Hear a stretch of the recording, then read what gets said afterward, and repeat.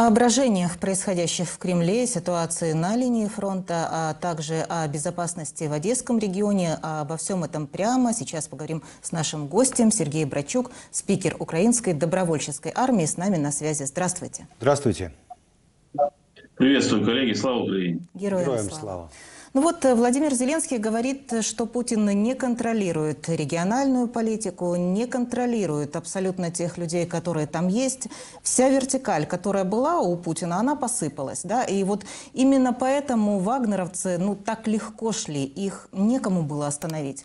И вот после этого мятежа, что интересно, да, в Кремле в очередной раз заговорили о необходимых переговорах. Сначала это был Медведев, который сказал, либо мирные переговоры, либо ядерная война да, а вот буквально накануне э, переговоров требовал Лукашенко, ну и который, кстати, параллельно, да, пугал контрударом России на юге Украины и выходом к Приднестровью. Что можете сказать по этому поводу? Ну, что касается вертикали, так называемой вертикали власти Путина, действительно мы видим, что система, она порочна, система, которая строилась на верности царю, и не более того, она действительно дала сбой, и более того, я э, думаю, что, скорее всего, развал России он будет начинаться не просто по какому-то политическому принципу э, и каким-то политическим признакам. Он будет начинаться, скорее всего, э, по национальным признакам. Я говорю о тех национально-территориальных формированиях, которые сегодня изшивают этот лоскуток, который называется пока еще Российская Федерация. Именно национальные квартиры могут активно начинать выступать против Путина как Э, символа этой власти, нынешней власти и нынешнего э, государственного устроя в России и будут не просто требовать себе какой-то автономии, каких-то больших прав, а и вообще задумываться серьезно о государственном суверенитете. Тут необходимы э, только определенные толчки, которые активизируют эти процессы. На самом деле они действительно уже давно идут, и то, что Москва не контролирует регионы, это стало очевидным после того, как сыпется власть в Белгородской области, сыпется власть на Брянщине, Ростовский регион. Мы видим, что э, стоило только зайти определенным э, силовым структурам, даже не армиям, там Ростов это Вагнер, э, допустим, там русские подразделения, которые борются с Путиным в Белгородской области, и все сыпется, действительно защищать режим некому, да и особой охоты тоже нет. Ну а что касается скажем, э, вот, вот того вопроса, который вы задаете, то э, переговоры. Почему Лукашенко примеряет на себя вот этот костюм миротворца? Ну, понятное дело, что он спит и видит себя руководителем того союзного государства, которое Путин пытался строить, э, в итоге вырастил такого себе маленького монстра, который еще не замечает под фамилией Лукашенко. Что касается Медведева, тут все понятно, через него как раз Э, и передает Путин определенные сигналы, не столько даже Украине, тут с нами это все понятно. У нас э, есть своя формула мира, формула президента Зеленского. Мы действуем согласно этой формуле и ну, отступать от нее не собираемся. А вот э, Объединенному Западу, да, через э, Медведева можно передавать страшилки, потом переходить на от кнута к прянику. Ну и Собственно, Лукашенко тоже, видите, он начинает использовать э, такой принцип кнута и пряника, э, опять угрожает Да, сначала югу. переговоры, а потом пугает, да, контур. Да, да, абсолютно верно. Ну и сейчас будут вспоминать и зерновую инициативу, видите, тоже вокруг нее сегодня очень много э, ломается копий, и опять-таки это механизм для некой попытки не сколько устрашить Украину, а попытаться э, влиять на коллективный Запад. Я уверен, что а, коллективный Запад в этот раз точно не дрогнет, как минимум а, коллективный Запад э, сегодня уже э, видит, чего стоит путинская Россия с точки зрения безопасности и прекрасно понимает, что сегодня надо строить не только мировую систему безопасности, сегодня надо строить систему безопасности, собственно, в самой России, потому что она может угрожать э, и Европе, и миру. Поэтому я думаю, что как бы сегодня сейчас странно не прозвучало, я думаю, что вопрос с Путиным, он решен. Вопрос только о преемнике, о той системе власти, э, которая наступит уже после эпохи э, Путина. Более того, э, посмотрите, некоторые политики говорят о том, что ведь президент Зеленский сказал, с Путиным за стол переговоров садиться никто не будет. И увидите, что будет сейчас всплывать такой момент. А если переговоры без Путина? И такое тоже может появиться уже в ближайшее время. И опять-таки через того же Лукашенко. Скажите, ну вот э, в этом недавнем интервью CNN Владимир Зеленский еще говорил о том, что Путин находится не в полном информационном понимании и адекватности. И вот ему дают только положительную информацию, а плохую он вообще слышать не хочет. Э, Сергей, как считаете, когда вот ну, настанет прозрение у Путина, да, у тех, кто еще ему верит, ну их совсем немного, да, когда такие процессы начнутся и что для этого нужно? Какой-то еще один марш справедливости? Ну, так называемый, да. А, ну, Путин, понятное дело, не проснется, и вообще бы не проснулся, я бы этого хотел, наверное, так же, как и миллионы украинцев, миллионы граждан всего мира. А, что касается откроются ли глаза у россиян, я э, тут э, остаюсь все-таки пессимистом, потому что ну, что-то глобальное должно в самой России произойти. Отчасти то, о чем мы с вами говорили, это э, не только расслоение этого общества, не только понимание того, куда и к чему привел Путин Российскую Федерацию, но и то, что жить стало совсем невыносимым. Мы прекрасно понимаем, что сегодня видно, э, кто немножко знает историю, сегодня все признаки, ну, как минимум где-то 1916 года на лицо в Российской империи, и сегодня эти исторические параллели можно э, провести. Э, поэтому элиты и допустили, это ведь не Путин действительно допустил марш справедливости, звучит смешно, конечно, да, а, от Пригожина это элиты а, хотят показать, то ли сами себе, то ли в том числе и Путину, что ну все, пора с этим заканчивать. То есть это такие сигналы позволили провести этот марш справедливости и показать, система а, плохая. Опять-таки, можно говорить о том, что пытаются таким образом выяснить и настроение общества. А настроение общества, они очень красноречивы. Мы видели, как встречали Пригожина. Кто такой Пригожин? Да? То есть это взрастили информационно вот э, такой символ определенный. А почему верит часть людей Путину на сегодня? А, не потому, что это хороший Владимир Владимирович. А, боже, сам сказал, же не поверил, что именно так. А, потому что это некий символ некой российской государственности. Они еще верят в то, что это государство существует. Определенные рамки его действительно есть. Но системы безопасности нет, армии фактически нет. И когда у людей начинают э, происходить нехорошие вещи, хлопок в Белгородской области, да, они начинают, ну, если не прозревать, то понимать, что-то происходит э, не так. Ростов это только начало, это маленькая искорка, но мы помним, как на Руси из искорки возгорается большое пламя. Сергей, вот еще интересно говорил э, президент о том, что а, еще один такой поход э, кадыровцев там, да, или пригожинцев на Москву, и власть просто завалится. И вот я себе представил на Москву, если пойдет ну, те же кадыровцы пойдут. Я, честно говоря, даже сомневаюсь, что военнослужащие Российской Федерации обычно будут выходить против них воевать, при том животном страхе, который у них вызывает слово «кадыров», вызывает слово вот, «кадыровцы», «чеченцы», да. И мне кажется, что они просто будут э, ну, класть оружие или к ним присоединяться, или просто не будут им мешать пройти к Кремлю, как вы считаете? Я полностью соглашусь. Э, ну, давайте исходить сейчас, вот так перенесемся. Это яркий пример, показательный. Э, фронт, таврийское направление, южное направление. Мы прекрасно знаем, кто сегодня находится в так называемых заградительных отрядах. Они вновь появились на линии фронта. Если мы говорим о некоторых населенных пунктах, э, которые сегодня там очень тяжело идут бои, очень тяжело нам действительно даются нашим вооруженным силам эти метры освобождения нашей территории, то те войска, те подразделения, с которыми лоб-лоб приходится э, нашим э, воевать, то за ними действительно появились кадыровцы. И животный страх. Или э, убьют э, кадыровцы, или придется погибнуть тут от э, удара вооруженных сил Украины.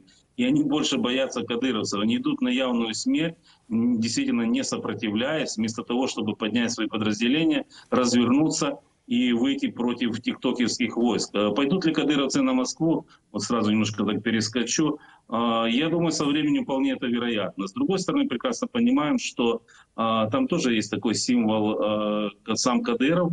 Я думаю, что многие метят себя на его место и подумывают об этом, чтобы эта часть Кавказа была свободна от России. С другой стороны, абсолютно не исключаю, что эти кавказские элиты, условно элиты, они могут замахнуться и на саму Москву, потому что э, мы прекрасно понимаем, что те, кто допустил марш Пригожина, где-то в рукаве э, боярского этого кафтана, они придерживают и карту с Кадыровым. я думаю, что она будет в свое время использована. Ну, знаете, вот я, я вспомнила, что когда кадыровцев позвали же их э, разобраться э, с походом Вагнера, они так спешили, что на сутки опоздали, да, пришли уже просто сфотографировались и все. А вот когда женщину избить в Чечне, да, 15 человек, э, на одну женщину обрить наголо, облить зеленкой, вот там вот они были вовремя. Э, тут тоже могу согласиться. А, я, мне довелось воевать рядом с э, чеченцем, представителем Ичкерийской республики. Это батальон имени шейха Мансура. Сегодня многие побратимы снова находятся на фронте, снова воюют э, с российским оккупантом. Вот это действительно джигиты, это люди своего слова, люди, которые прекрасно понимают, что такое современная Россия, что такое современный Э, представитель их народа э, Кадыров. И мы видим, что вот, вот этот э, элемент кавказский, элемент чеченский, если хотите, я уже об этом отчасти сказал, он э, может тоже стать некой такой определенной искоркой для того, чтобы вот эта вертикаль власти, купленные. Ну, давайте говорить реальности. Ведь э, герой России Кадыров, который собирался воевать против героя России Пригожина, ведь он купленный. Его купили, купили э, его окружение, э, даже смерть отца, э, которого ФСБ взорвали, э, даже не остановила вот, э, вот этого не человека, который сегодня э, говорит о том, что он очень любит Путина. Он его не любит, он его, я думаю, ненавидит, э, поэтому этот фактор может сыграть. Я э, еще раз скажу, видите, вот эти все э, признаки не того, что Россия будет рассыпаться, я уверен, мы станем свидетелями всего этого именно по национальным квартирам. Ну, по крайней мере, на сегодня это видно. И тут главное, наш посыл к Западу, наверное, должен быть, и об этом говорит президент Зеленский. Э, не надо бояться процессов распада Российской Федерации. Просто надо делать так, чтобы это действительно не аукнулось всем нам остальным. Этот процесс э, необходимо мониторить, э, помогать тем здравым силам, которые в России еще сегодня остаются. Их мало, но они есть. И, и бояться не надо. Они распадутся. Империи падают, и потом возникают нормальные, хорошие государства. Давайте посмотрим на любую историю. И еще хотели о Пригожине спросить, да, вот э, в апреле этого года он выхвалялся своей ЧВК, и вот в одном из интервью рассказывал, что русский сапог дойдет до Одессы, Николаева и Харькова, и тогда он еще сказал «ждите», да, а теперь вот видим, что этого человека и след простыл, непонятно, где он, что с ним, да, очевидно одно, у него очень большая коллекция там париков, паспортов, да, достойная коллекция, эм, но все-таки хотели услышать и ваше мнение, где всплывет вот этот персонаж, персонаж в Беларуси? Э, появится ли вновь на украинском фронте? А, ну, я бы хотел, чтобы он всплыл так, как э, всплывали элементы форменной одежды моряков с крейсера «Москва» у Одесского побережья. Тельняшки, бескозырки, что там еще у нас было, сейчас даже все не вспомнишь, какие-то пуговицы морские. А, сапогов пока мы еще не видели, пригожинских. А, я думаю, что увидим. А, но это будут просто сапоги, которые канут в лету. А, всплывет ли Пригожин? Не знаю, тут очень сложно сказать, готовы ли его использовать дальше в той большой игре, которая сегодня а, происходит на российских просторах. Вполне вероятно. Хотя, опять-таки, учитывая, как разбивается и разбился сегодня его имидж, он, ну давайте говорить так, он практически исчез. Что отделяет героя России Пригожина от бандита Пригожина? Один эфир Соловьева Лайв. На России сегодня так. Поэтому все эти угрозы, это опять-таки для внутреннего потребителя, ну, то, что несет Лукашенко, ну, опять-таки, возрастное тоже надо принимать во внимание. Сергей, давайте еще о ситуации на юге нашей страны поговорим. А, вот прошел уже месяц со дня подрыва россиянами Каховской ГЭС. Накануне в нашем эфире мы общались с представителем сил обороны Юга Украины Натальей Гуменюк. Она рассказывала о том, как большая вода смыла буквально блиндажи, там, окопы российских оккупантов на левобережье, минные поля их, да. Вот. Кроме того, говорила, что военные армии РФ пытаются вернуться на прежние позиции, но велика опасность подрыва вот на их фактически собственных минах. Сергей, расскажите, что в Одесском регионе сейчас происходит спустя месяц после трагедии? Находят ли ну, те же смытые водой боеприпасы мины до сих пор? Э, ну, коммунальщики работают, потому что побережье надо убирать, и мусора действительно намыло очень много. Но, опять-таки, впереди идут пиротехники. Сначала работают минеры, саперы, они должны посмотреть территорию, и только потом э, приступить к ее уборке. Э, говорили как-то и в вашем эфире о том, что э, очень надеемся на природу, она имеет такие свойства очищаться от э, всего плохого. Вода сегодня во многом действительно стало чище. Сегодня те пробы, которые берут специалисты, они показывают ну, просто колоссальную разницу. Как говорят в Одессе, это две большие разницы, что было месяц назад, полмесяца, неделю даже назад и сегодня. Э, ну, купаться нельзя, сразу хочу сказать, сразу всех предупредить. Запрещено купаться, насколько мне известно, как минимум до 1 августа такой запрет продлится, но опять-таки понимаем, что минная безопасность в Черном море она никуда не подевалась. Этот вопрос остается очень актуальным, так же, как и, допустим, возможности ракетных и дроновых ударов именно по Одесскому региону. Мы сегодня говорим не столько о море, мы сегодня говорим о наших э, полях, о наших аграриях. Уже более 400 тысяч тонн намолотили наши аграрии зерна. Понимаем прекрасно, что Одещина будет большим хлебным хабом для всей нашей страны. Говорим об орошении земель, потому что Каховская ГЭС и та вода Днепровская, которая использовалась э, оттуда, она шла именно на мелиорацию, на орошение херсонских степей. К сожалению, там ситуация ну, действительно просто очень сложная, критическая, и последствия еще, я думаю, что многие годы э, будут сказываться э, на нашей жизни в том числе. Но у нас постепенно, еще раз скажу, очищается природа, и знаете, это вот те маркеры, э, наверное, довольно пафосно сейчас говорю, тем не менее, те маркеры, которые Э, показывают, что мы, мы тоже преодолеем все трудности, как бы сложно э, не было. Поэтому ситуация у нас вот такая. Скажите, вот э, спустя месяц да, после событий на Каховской ГЭС, как вы оцениваете события на линии фронта, которая проходит по Днепру? Да, как эти действия оккупантов отразились на их собственных целях и как сильно большая вода повлияла на планы ВСУ? А, ну, если говорить о позициях э, врага, действительно не пытаются вернуться на те позиции, которые были до террористического акта. Они действительно сегодня возвращаются. Они могут использовать в том числе и артиллерию, и производить минометные обстрелы с левого берега Днепра по тем позициям, которые у нас находятся на правобережье. А, вы видите, что Херсон, к сожалению, каждый день находится под обстрелом, так же, как и другие территориальные громады правого берега Днепра. Э, контрбатарейная борьба – это сегодня то, что главное, э, что происходит э, на тех территориях, на части деоккупированной и та, которая пока еще подконтрольна врагу. Но прекрасно понимаем, что будут определенные действия, мы не спешим с ними. Я вообще слово контрнаступление всегда стараюсь избегать. Я, честно говоря, его даже не очень люблю. Так же, как и когда говорят о том, что какие-то действия вооруженных сил Украины, в том числе Э, в районе Херсонщины, они есть какие-то медленные. Нет медленные, есть поступательные движения. И я не даст соврать, как и военные мы знаем, что для того, чтобы выиграть битву, надо провести несколько боев, подготовить эту битву, чтобы потом в ней победить. Поэтому процесс этот идет, я уже сказал отчасти о Таврическом, о Таврийском направлении, Запорожском, Бердянском, Мелитопольском. Э, есть продвижение вперед, э, тяжелое, Э, большой ценой, мы это прекрасно все понимаем, но с другой стороны цена, которую платят россияне, она в разы просто больше. Минные поля, большая фортификация. Не все же, к сожалению, вражеское смыло Днепровской водой. Э, есть бетон. В бетон надо вгрызаться. Наши это делают, наши просто действительно титаны, поэтому э, на южном направлении у нас идет, э, идет продвижение. То есть это наступательные движения, а не оборонительные.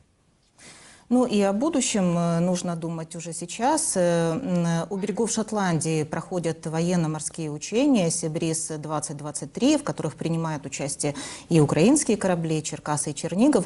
Вот насколько важно это событие да, и участие Украины в подобного рода учениях в период полномасштабной войны? И, конечно же, вот насколько это важно для послевоенного времени? Ой, я, наверное, начну с другого, отвечая на этот вопрос. Я очень жду, когда Сибрис снова вернется в Одессу. Я думаю, что и одесситы уже тоже ждут, когда вот эти военно-морские маневры, они вернутся в наш город, потому что ну, потому что это будет признаком того, что мы победили и э, война закончена. Э, то, что наши принимают участие, это просто отлично. То, что наши демонстрируют выучку большую, это отлично. Ну и, собственно говоря, я думаю, что какие-то элементы э, будущей военно-морской доктрины Украины отрабатываются как раз именно на этих учениях, именно с нашими союзниками. Именно там строится тот флот, который, несмотря на большие потери, фактически отсутствуя, давайте смотреть правде в глаза, э, сумел уничтожить, э, ну, наверное, уже процентов 20 Черноморского флота Российской Федерации во главе с флагманом, с флагманом крейсером «Москва». Уникальное явление. Поэтому для нас это очень важно. Но еще раз скажу, мы очень ждем возвращения Сибриза к нам в Одессу. Да, мы все ждем. Скажите, еще по зерновой сделке хотели спросить. Вот э, срок действия сделки истекает уже 17 июля, да, и в России не раз говорили, что выйдут из соглашения, если не будут выполняться их условия. А, Сергей, как вы считаете, ну вот какова дальнейшая судьба зернового коридора? Сможет ли он, например, э, работать без России, да? И чего ожидаете от вероятного визита Владимира Зеленского в Турцию? Вся турецкая пресса об этом пишет, что визит состоится. А, я думаю, что, во-первых, если говорить о визите президента, а видите, какие э, результаты позитивные президент из каждой поездки привозит, э, Чехия дает вертолеты и так далее и тому подобное. Если говорить о Турции, я думаю, что как раз с президентом Эрдоганом речь пойдет не только о судьбе зерновой сделки. У нас впереди саммит натовский. Я думаю, что Турции есть что сказать. Нам есть что сказать Турции. Э, по поводу Североатлантического альянса. А что касается э, зерновой сделки, россияне уже из нее выходили. Давайте вспоминать. Да, выходили. Сказали, потом потом выходили, сказали, да, вы нас не так поняли и назад заходили. Чем это, чем это закончилось, тоже прекрасно помним. А, они вернулись а, и снова начали ныть о том, что не выполняются их условия. Я, конечно, бы там не опускал бы некого примитивизма позицию России в плане того, что вот, э, ну нет их и нет. Понятно, они будут стараться максимально, максимально вредничать. Ну, я стараюсь подбирать слова а, о том, как они себя поведут. А, они бойкотируют и будут бойкотировать и дальше саботировать работу совместного координационного центра, а, что-то выдумывать новое, как, например, по порту Южному, когда они вычеркнули его фактически из этой сделки. Но уверен, что вот те самые стальные части тела, которые есть у президента Эрдогана, в отличие от бункерного деда, он а, продемонстрирует э, Путину, и как было это в прошлый раз, когда запретили российским кораблям а, с другой номенклатурой, а не с зерном, заходить э, в порты Турции. Чем это закончилось? Поэтому я думаю, что аргументы найдутся, а если их будет недостаточно, президент Зеленский сегодня э, президенту Эрдогану еще и подскажет, что можно э, сделать, дабы поставить Путина на место. Я думаю, что все получится. Нельзя исключать, что они снова объявят о выходе из сделки. Это понятно. Но верю все-таки лучше. Да, будем следить за этим визитом. Спасибо вам огромное, спасибо за последнюю спасибо информацию, за ваши комментарии. Да, всегда рады видеть в нашем эфире. А зрителям напомню, Сергей Брачук, спикер Украинской добровольческой армии, был с нами на связи. Спасибо.